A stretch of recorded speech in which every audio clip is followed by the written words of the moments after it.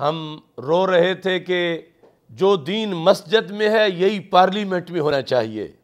पाकिस्तान बनने के बाद हमारे अकाबरीन की जिद्दोजहद को नचोड़ें तो उसका यही खुलासा निकलता है कि ईवान में कुरान होना चाहिए, ईवान इकतदार में।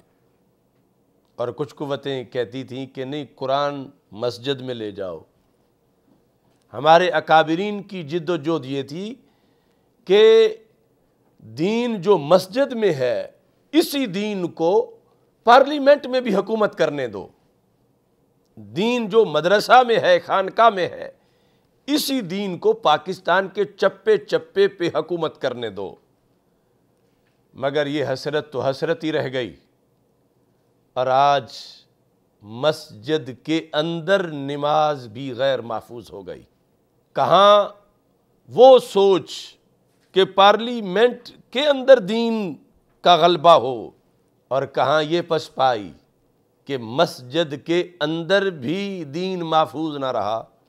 नमाज़ पर पाबंदी, अगरचि उसका नाम कोई कोई रख ले, उज़र कोई पेश करे, बहाना कोई बनाए, बनाता रहे। लेकिन हुआ तो यही है।